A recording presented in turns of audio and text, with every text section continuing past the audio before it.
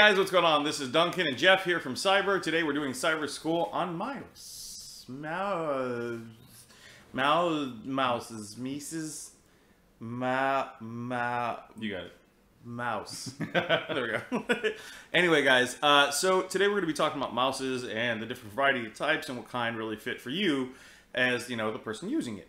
Now, people have different varying hands, and let's kind of start there. Mouses are these little things right here that we use all the time. See, there's a wire attached to it. Kind of use it to, like, you know, shift and go places. As you can see, and it's got this nice little glowing light on the back of it, so you guys can enjoy that. Uh, but mouses are very different for everybody. Some are small, some are narrow, some are fat, some are medium sized. Basically, mouses are like the people of the technological world. They're interchangeable, they do cool little things and little tricks, but in the end, their existence ends up being wiped out by a newer, bigger, better kind of breed. Mutants. They will wipe us out one day, Jeff. Oh, oh, okay. Okay, anyway. Uh, focusing on the rest of that, but mouses are very important to you and your gaming experience and what you're using it for. Just like we were talking about performance before, and now we're going to be talking about what you use your mouse for. Now, first of all, if you're gaming, you want a mouse that ranges anywhere from, uh, what is that, I want to say 4800 DPI, maybe even higher, sometimes like 80, I think it's 80, 82 right now? Uh, I think 82? that maybe it's that's probably probably about right. Yeah. about 8200 maybe less i mean and you can correct me but they're pretty high up for things to be so accurate and pinpoint that it's ridiculous now you say well what's the 800 was it 80,000 was it 8200 dpi compared to like a 400 dpi well it's easy the lower you go on the dpi the less range your mouse is going to have meaning if i have to move the mouse just a short distance but i'm going to have to take my hand to go uh, to get across to it that's the lower the DPI. It's less sensitive. The higher the DPI means it's going to track so much more, so all I would have to do is flick my wrist and it would jump across the screen. Now, you would say, why would that be important to me, the user? Well, if you're gaming, higher DPI is usually kind of favored. Also because when people are in kind of small confined spaces, they don't want to have to take their hand and try to do six or seven motions. And no, don't think what I'm thinking when I do this, but I'm just saying that you have to kind of, you know, go through a big workout trying to get from point A to point B with your pointer. But with higher DPI, what it requires is just you to flick just a little bit and the arrow will move so fast across your screen because you're covering more DPI in the movement. It's basically like saying your car goes from 0 to 60, but your car just does 60 every time. Damn. That'd be horrible. Like, 60, you get in your car, ah! like was, there'd be no backing out safely or anything. You would hit old ladies constantly. But so with that, you're saying why do you use it so much, you know, and why would you need it so fast? Like I said, it's for confined spaces or people playing video games and they want to be accurate. Now, that's not always the case because certain gamers have certain play styles. Some of them don't even like them to be sensitive at all. They want it to be so low on the list that all it requires is them to take their keyboard and minimally move it to shoot and hit exactly where they need to hit. Because if you have it at such a high DPI, just the smallest fraction, even a sniffle or a sneeze can make it go off by a centimeter and screw up your whole gameplay. So depending on what kind of game you are, that's what you look at and for a mouse and DPI. The next part is you want to look at what are you using the mouse for again. As the average consumer, usually they don't need so much of a high DPI, but a DPI that at least allows them, to, depending on the workspace they're at, to you know move around. So again, if they have if they have like say a square box and they just want to move their hand back and forth like this, and but to get the most movement out of it, a, a little bit higher DPI. I mean, not needed in the 82,000 uh, high range, but definitely uh, you're going to need something to 82,000. Am I- 8200. 8200. I keep saying 82,000. I'm sorry. That's No worries. I'm thinking thousands in my head because it is in the thousands. 8200. 8,200. but anyway, in that kind of range, that's super fast. But if you get something that's like, say, 2,400, which you would just barely move but still get the same response, but it's not going to be as drastic, you, you can basically, you know, do what you need to do in your everyday chores from clicking on mouses, web browsers, trying to hide that porn from mom, or if you're just trying to make sure that you buy the right gifts for your girlfriend and she shows up, you can sneakily click it left and then hide it so she never realizes it. But besides that, guys, those are kind of the uses for it. Now, lower DPI just means sometimes people like making the hand motions, which that could also vary for people who like to draw. Drawing takes a little more skill and is a little more tedious, so any kind of small movements can really mess it up. So sometimes just taking their hand and slowly drawing an arc and doing this with their hand is usually easier than them jumping around the screen. So now that we know what DPI is, we're going to move to the other part. Again, preferences for every person is, is like a profile. Are you gaming? Are you using it for everyday use? Are you doing for artistic editing? Oh, Always varies. So, you know, it, it, it's kind of easier to say we break it up more into gaming, average consumer, and then work related. Because work related can vary from anything from editing videos, Photoshop, and all that fun stuff. So, like the DPIs we said, lower DPIs, not so bad depending on the user, can be used by the average or to somebody who's artistic. Uh, a medium like range for DPIs, and if you're saying like what are the DPIs for middle, or lower, usually it's anywhere from like zero to 800 is super low. 800 to about is it 2400 is mm-hmm. pretty decent, you know, like you know average user, and then anywhere from like you know 2500 and up to I think the 8200 is just like in gaming range, just it's just fractions where you're like, oh, do I really want it that fast, this fast, maybe a little less, more, more. It's all again on the user. So with that said, it also comes down to your hand. Your hand is a weird hand. Put up your hand. See, they, they look pretty much in the same. Is my is my hand on the same yours? Oh, we're, we're pretty pretty close. You're about you got a couple more on me. Do it again. Oh, oh, magic. I'll, I'll touch your hand. Okay. Do you want to do you want to go like mold clay later? I would love to. To the sound of like an old 50s song yes. in a basement. All right. Sounds good. There we go. Anyway, so with the size of your hand, it's going to be different. I range anywhere from a small or from kind of a bigger, narrow mouse to kind of a fatty mouse to relax my hand because those are my preferences. Medium mouses, they're okay to me, but sometimes they're just very awkward. I mean, what kind of mouses do you prefer? I generally, uh, this is actually, um, I, have, I have two of these. This is a Razer Mamba that I use, and uh, it's it's it's nice because it's right-handed and it's about a medium-sized mouse. I generally do the the claw in the sense where I'm like, I, I have a higher DPI, and a lot of other people. Uh, I met this one guy at Fry's one time, and he was like, I want a mouse that I can move all over the, ma- the, the mouse. I'm sorry, we got to cut, dude. Want, you want a mouse that moves all the way over the map? Is that what you're saying right there? Yeah, yeah. It's. I'm sorry, I'm screwing it up. No, you're totally fine. All right, no worries. And um, my heart rate's jumping. Are we live? No, we're not live. Okay, good. You're lucky. You're lucky. I can edit this out, but I'm not going to do it. All right. what? No, please do that. Please do that. I just kind of went on the tangent, and I was like, uh, but anyways, I actually prefer the uh, the Razer Mamba myself. It's kind of a medium-sized mouse, and uh, you can actually adjust the DPI pretty much pretty pretty low to pretty high. Um, if I actually prefer the claw movement in the sense where you're just kind of moving around with just your hand instead of like moving your arm around like some other gamers.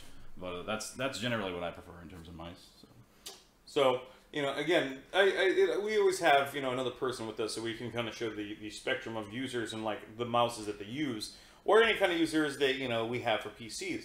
Same thing goes for keyboards, but that's another topic. But anyway, uh, so when we do that kind of stuff with our mouses, you know we always have to ask ourselves what kind of DPI, what kind of size we want. And then the other part comes into it is what kind of, what is it, mouse buttons do I want on it? I mean, you get the typical two and a roller in the middle, which is your scrolling wheel, but sometimes they come with additionals. Like, I actually have a DeathAdder, which is the Elite Pro, which has two little middle buttons in the center, right about under where the wheel is. I have the regular little, you know, left and right click keys, and then I have two additional buttons on the left and right side, or sorry, on the left side for uh, my hand. So when I'm, you know, using it like this and I go like this, I can hit both buttons easily. Now, there, I also have another one, which is a Roccat that I let my girlfriend use that I was using for a while that actually has a space bar at the bottom. So while I'm doing stuff, I can just space, space, and move, space, move, space, jump, any kind of stuff like that. So again, that's more of gaming mouses that me and Jeff have because we game a lot. You don't need that kind of stuff if you're going home and you're just basically you know, ordering off Amazon, talking to somebody on that chat room. I mean, it's not going to be that that prolific that you need the mouse buttons or hotkeys on the side for them. But you know, if you feel that you need that or you want that extra luxury, go for it. I mean, it's it's never to say no that you want to buy more in it. But also, certain mouses too, uh, you know, have the different things like you know wireless. We noticed that Jeff is a wireless, mine is wired. Uh, the thing is, is that sometimes wired and wireless, you know, have different pros and cons. The great thing about wireless is that you can actually take it anywhere, have it. There's no, you know, wire that attaches and blocks, you know, and you have to find great, you know, tying up techniques to make sure it stays of the way. because it's just right there. You can just pick it up, use it, and then put it down. The pros are basically all those. The cons comes down to it can actually run out of battery life. Uh, sometimes it's not as responsive if something blocks its receiver. Most of the times it's not the case anymore with technology, but it has happened from time to time. Uh, I mean, those are probably much. That's I think that's pretty much the downsides to having a wireless mouse. I mean, is there anything else you would think that would like wired and non-wireless? The interesting thing is that this particular model is actually both. The the base station is wired, um, and you can actually unplug it and plug the mouse in if it, the battery runs out. So even though that uh, the battery life could be a con, even still, if the battery runs out, you can still plug it in. So. Oh wait, the base access is you can plug it back in. Yeah, like so this. Oh, there you go. See, you, you plug the base in and it acts as wired or wireless, and then if it runs out of battery, you actually plug the mouse in and it's wired. I'm more of a fuddy duddy. I use wired. I prefer wired every single time. It is my favorite thing because I just know that the thing will never die, and if it does, I know there's something wrong with it. if the battery dies on that, then it could be just plug it in, but I don't know. So, uh, but again, now with that kind of version, it's different. But then again, Razer's always been good at making mouses and keyboards with the peripherals. So, kudos to you, Razer, golf clap. Anyway, so that's basically the basics of just mouses, guys. I mean, everything we talked about from DPI to the size, measurement, uh, click rates vary too. Sometimes people like double click rates and stuff like that, but that's, again, that is a user preference more than, you know, relies on the mouse. Sometimes mouses, you know, have different ways that they're made. Sometimes the keys are built into them, or sometimes they're like, as Razer and a lot of them are doing, they barely hover over the switch, so what you have to do is lightly tap it, you know, so. But again, those, from everything we're talking about, the DPI, the size, you know, uh, wired, non-wired, those are the things that will get you started in picking out your first mouse. And it should also be the one that helps you pick out and kind of gauge in the rest of the future. There's going to be lots more new technology out there, and as it goes on, we'll keep updating you guys, but I think that was a good start to uh, buying your mouse. I agree. All right, guys, and thank you again for being here at Syber Skool. My name's Duncan. I'm Jeff. And you guys have a good one.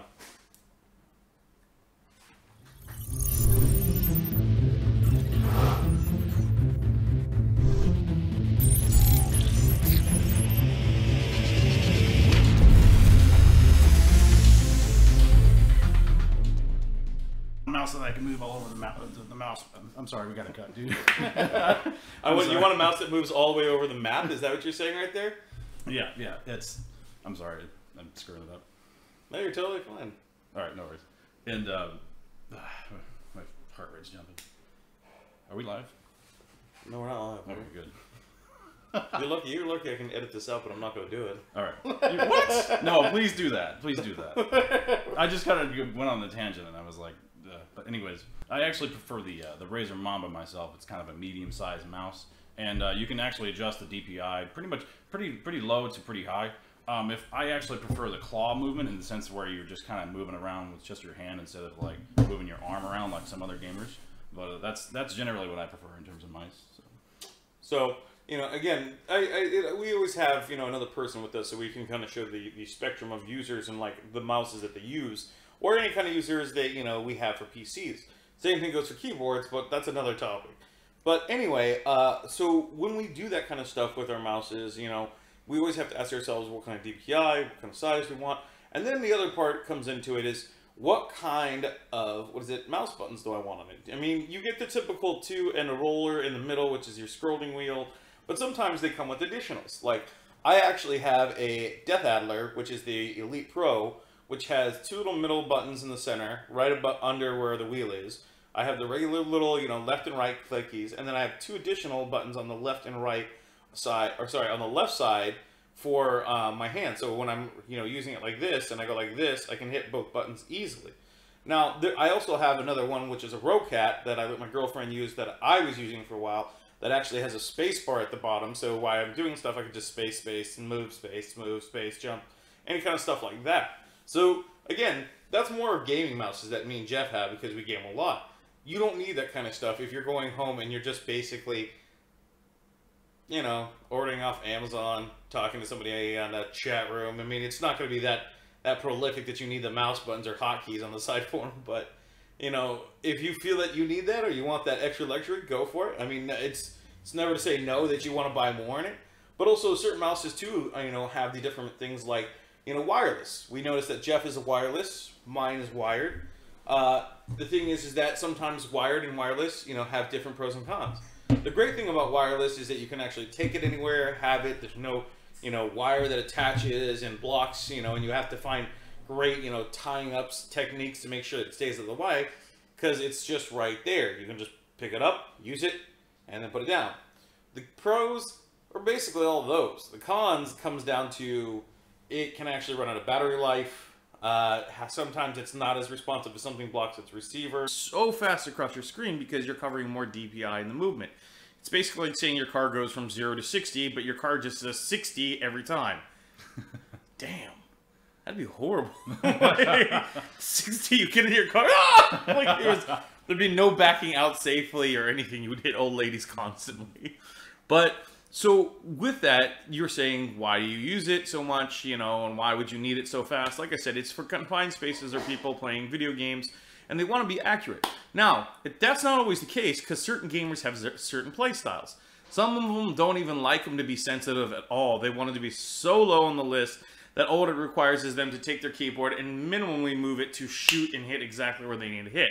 Because if you have it at such a high DPI, just the smallest fraction, even a sniffle or a sneeze can make it go off by a centimeter and screw up your whole gameplay. So depending on what kind of game you are, that's what you look at and for a mouse and DPI. The next part is you want to look at what are you using the mouse for again. As the average consumer, usually they don't need so much of a high DPI, but a DPI that at least allows them, depend, depending on the workspace they're at, to you know move around. So again, if they have if they have like say a square box and they just want to move their hand back and forth like this, and but to get the most movement out of it, a, a little bit higher DPI. I mean, not needed in the 82,000 uh, high range, but definitely uh, you're going to need something to uh, 82,000. 8200. 8200. I keep saying 82,000. I'm sorry. That's no worries. I'm thinking thousands in my head because it is in the thousands. 8200. 8,200. but anyway, in that kind of range, that's super fast. But if you get something that's like, say, 2,400, which you would just barely move but still get the same response, but it's not going to be as drastic, you, you can basically, you know, do what you need to do in your everyday chores from clicking on mouses, web browsers, trying to hide that porn from mom, or if you're just trying to make sure that you buy the right gift for your girlfriend and she shows up, you can sneakily click it left and then hide it so she never realizes it. But besides that, guys, those are kind of the uses for it. Now, lower DPI just means sometimes people like making the hand motions, which that could also vary for people who like to draw. Drawing takes a little more skill and is a little more tedious, so any kind of small movements can really mess it up. So sometimes just taking their hand and slowly drawing an arc and doing this with their hand is usually easier than them jumping on the screen. So now that we know what DPI is, we're going to move to the other part. Again, preferences for every person is, is like a profile. Are you gaming? Are you using it for everyday use? Are you doing for artistic editing? Always varies.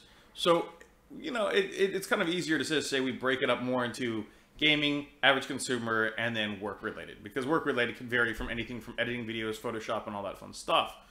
So, like the DPIs we said, lower DPIs, not so bad depending on the user, can be used the same yours. Oh, we're pretty, pretty close. You're about. You got a couple more on me. Do it again. Oh, oh, magic. I'll, I'll touch your hand. Okay. Do you want to? Do you want to go like mold clay later? I, I would love to. To the sound of like an old '50s song yes. in the basement. All right. Sounds good. There we go. Anyway, so with the size of your hand, it's going to be different. I range anywhere from a small or from kind of a bigger, narrow mouse to kind of a fatty mouse to really relax my hand because those are my preferences. Medium mouses, they're okay to me, but sometimes they're just very awkward. I mean, what kind of mouses do you prefer? I generally, uh, this is actually, um, I, have, I have two of these. This is a Razer Mamba that I use, and uh, it's it's it's nice because it's right-handed and it's about a medium-sized mouse. I generally do the the claw in the sense where I'm like, I, I have a higher DPI, and a lot of other people. Uh, I met this one guy at Fry's one time, and he was like, I want a mouse that I can move all over the, ma- the, the mouse. I'm sorry, we got to cut, dude. I want, you want a mouse that moves all the way over the map? Is that what you're saying right there? Yeah, yeah. It's. I'm sorry, I'm screwing it up. No, you're totally fine. All right, no worries. And um, my heart rate's jumping. Are we live? No, we're not live. Okay, good. you're lucky. You're lucky. I can edit this out, but I'm not going to do it. All right. what? No, please do that. Please do that. I just kind of went on the tangent, and I was like, uh, but anyways, I actually prefer the uh, the Razer Mamba myself. It's kind of a medium-sized mouse, and uh, you can actually adjust the DPI pretty much pretty pretty low to pretty high. Um, if I actually prefer the claw movement in the sense where you're just kind of moving around with just your hand instead of like moving your arm around like some other gamers. But uh, that's that's generally what I prefer in terms of mice. So. So you know, again, I, I it, we always have you know another person with us, so we can kind of show the, the spectrum of users and like the mouses that they use, or any kind of users that you know we have for PCs. Same thing goes for keyboards, but that's another topic. But anyway, uh, so when we do that kind of stuff with our mouses, you know, we always have to ask ourselves what kind of DPI, what kind of size we want, and then the other part comes into it is what kind of what is it mouse buttons do I want on it? I mean, you get the typical two and a roller in the middle, which is your scrolling wheel but sometimes they come with additionals. Like, I actually have a DeathAdder, which is the Elite Pro, which has two little middle buttons in the center, right above under where the wheel is. I have the regular little, you know, left and right click keys, and then I have two additional buttons on the left and right side, or sorry, on the left side for uh, my hand. So when I'm, you know, using it like this, and I go like this, I can hit both buttons easily. Now, there, I also have another one, which is a Roccat that I let my girlfriend use that I was using for a while, that actually has a space bar at the bottom. So while I'm doing stuff, I can just space, space, and move, space, move, space, jump, any kind of stuff like that. So again, that's more of gaming mouses that me and Jeff have because we game a lot. You don't need that kind of stuff if you're going home and you're just basically